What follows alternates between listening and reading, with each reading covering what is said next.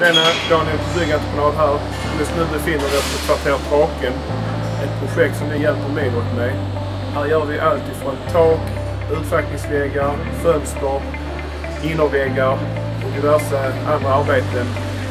Så eh, kom tillbaka om två månader så får ni se slutresultatet.